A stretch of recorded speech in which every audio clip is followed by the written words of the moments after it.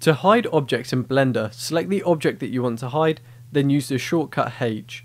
This also works in edit mode, but if you switch back to the object view, it will reappear despite being hidden when going back into edit mode. Or if you have lots of objects in your scene, you can select the object you want to remain visible and use the shortcut Shift H, thus hiding all the objects that are not selected. But to unhide objects, there are two methods.